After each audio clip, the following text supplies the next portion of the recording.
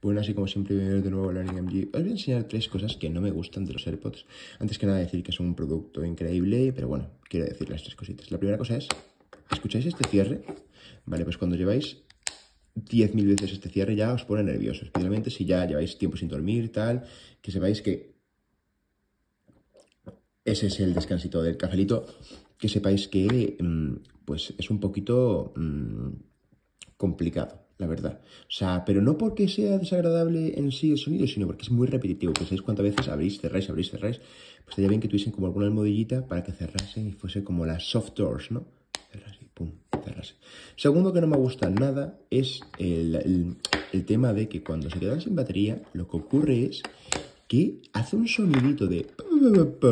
algo así. Ya sé que lo he escrito fatal. Mm, si alguien en comentario lo quiere dejar así como más interpretable, que lo diga. Y automáticamente se cancela la cancelación de sonido.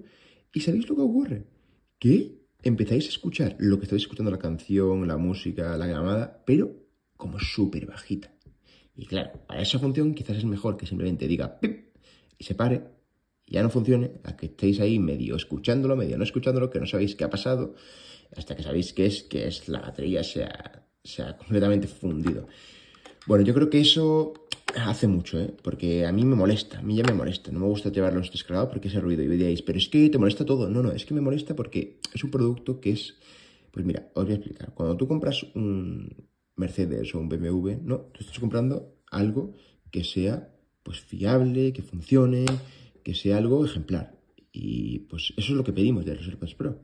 Que estos juntos con los Bang Olufsen es que son buenísimos. Son lo mejor de su gama. Entonces, pues de un Apple Pro de primera y segunda generación, que ya sabéis que tenéis más vídeos aquí abajo, pues mm, esperamos lo mejor. Y bueno, pues también nos gustaría, a mí, aparte del equipo de Learning MG, el tema de que si fuesen un poco más feos, no nos importaría si alargase la vida media de mm, útil de los AirPods. Es decir, tanto eh, que no disminuya su cantidad de carga, así como que dure más la propia carga por día. Hay algunos AirPods que son más feos, mm, estéticamente son un poquito peores, pero funciona más en el tiempo, es decir, se puede utilizar más horas de llamada y de, y de música, y eso estaría muy bien, la verdad. Así que nada, eso es todo, esos son nuestros comentarios. Si os ha gustado, como siempre, dale al thumbs up, suscribiros a nuestro canal. Y por cierto, si em, tenéis cualquier duda comentario, sabéis, lo respondemos súper rápido. Dejadlo aquí en comentarios y yo o alguien del equipo de Learning MG os responderá lo antes posible. Muchas gracias, como siempre.